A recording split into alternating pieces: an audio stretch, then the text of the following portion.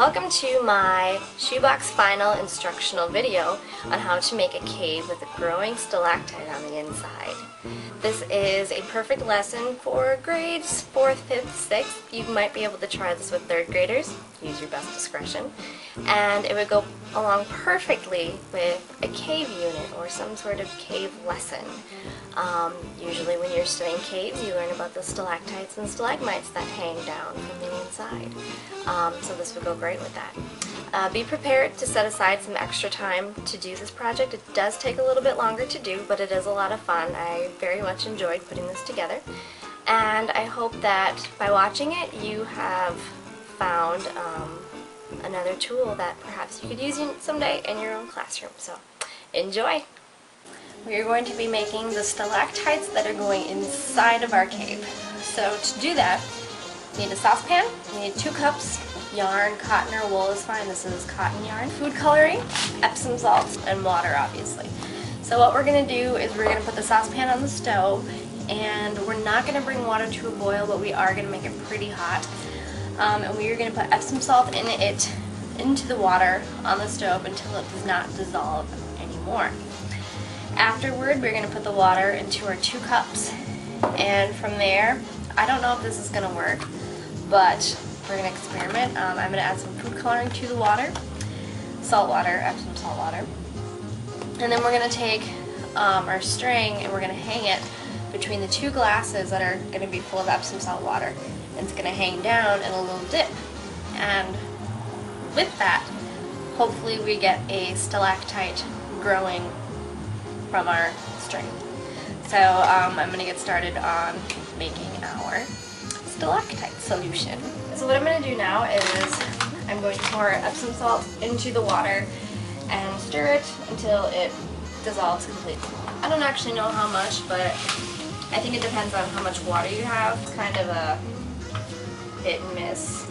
Do not bring the water to a boil if you are using some sort of stove top. Um, don't bring your water to a boil. This may take a little while, but we're going to stir until the salt's dissolved.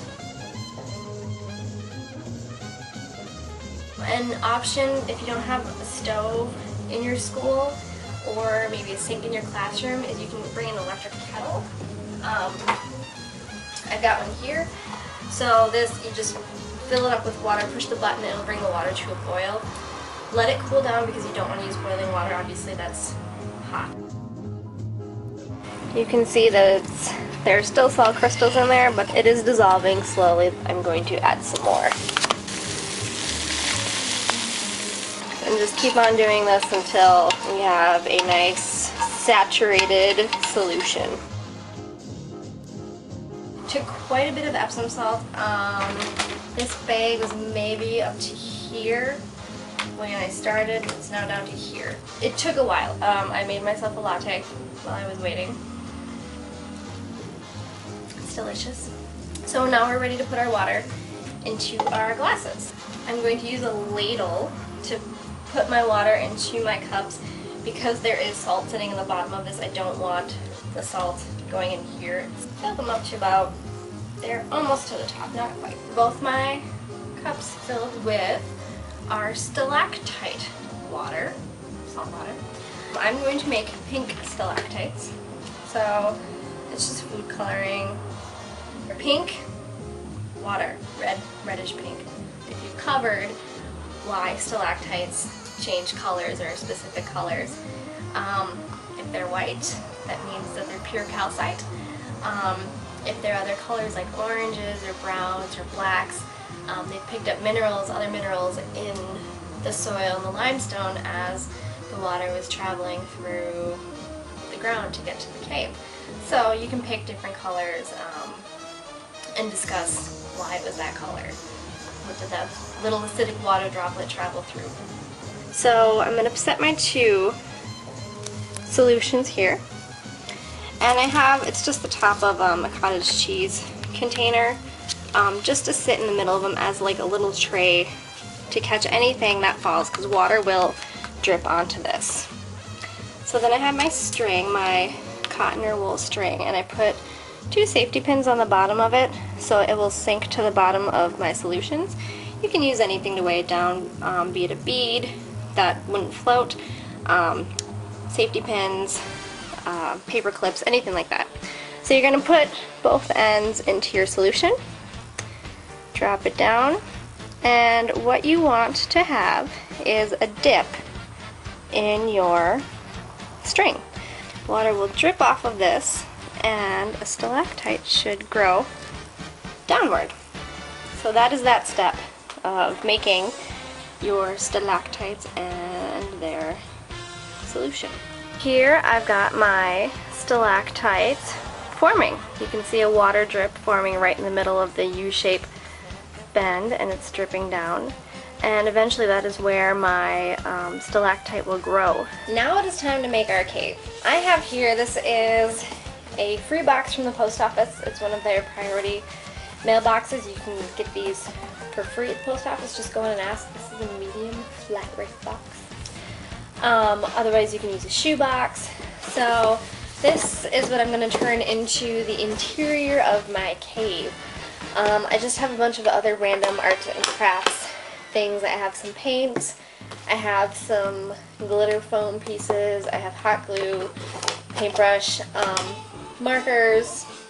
I'm just to turn this into a cave. What will eventually happen is my growing stalactites are going to go on the inside of this. Um, so then in essence we've got a cave.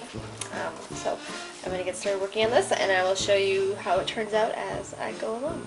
I have so far decorated the inside of my cave and what I'm going to do is I'm going to glue these two flaps here like so and I'm going to hide the solution of my stalactites, the stuff in the little containers, I'm going to hide it behind and then the string will hang, hang across and it'll look cave-esque.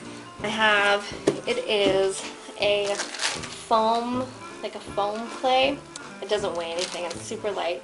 And you can mold it into whatever you want really easily, but I was going to make um, stalactites and everything hanging down from the ceiling and gluing them up. And the thing with your kids, they can do whatever they want to their boxes. There's no, this is what your cave has to look like, because obviously, you know, all caves look different the purpose is just to have that we will have stalactites and stalagmites. I'm going to keep going on this and then I will show you um, more progress as I have more, more, to show. It's looking more cavern-esque. So we have our trees. I will paint them or color, probably color them with markers. But you can see, here's a cross-section of our earth that we have. This is the soil, and then the yellow is the limestone. And then eventually, ah, ta-da! Here's the final product that I've created. So up on top here we have our organic material that when it dies and decays um, creates CO2 in the soil. And when our rain falls from the sky, the CO2 goes down through the soil and our little rain droplet picks up that CO2, creating um, a carbonic acid. And then the CO2 eventually hits limestone, and as it goes through the limestone, it dissolves calcite. And as it dissolves that calcite, eventually it hits a cave and the CO2 goes away and you're left with calcite and water. And the water drips from the ceiling and eventually the water goes away and you're left with these calcite formations called stalactites and stalagmites. Now way here in the back, right here, you can see my actual growing stalactite. My two cups are hidden behind these panels and draped across here I have an actual stalactite that will continue to form until my uh, saltwater solution is gone. Um, you'll want to put some sort of tray or something here since this is cardboard um, to catch the water that does drip. This is the final result of our cave project. Kids can make a model of a cave and understand how stalactites and stalagmites are formed.